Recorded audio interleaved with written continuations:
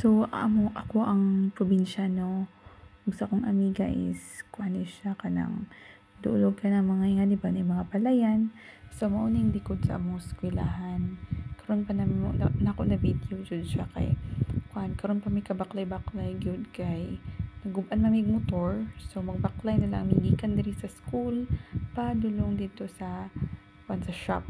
So mo siya ang kantina siya ng banda. Hi! Hi, namaklay mi karon kay naguban mig motor. Tanawa na ka-uniform pa mi. Yes. Yan yung background sa likod sa school. Tada! Exercise na ni siya. Actually, layo, pa dyan siya, pero naman ko ikauban. Kauban naman mi, magsige mig tabi. Di na mapil ang kalayo. True. Mm-mm. Eh, kuwan man pod ka ng, sana refreshing. Mm, ang background? labasan. Mm, sa labason yun. See? Ay.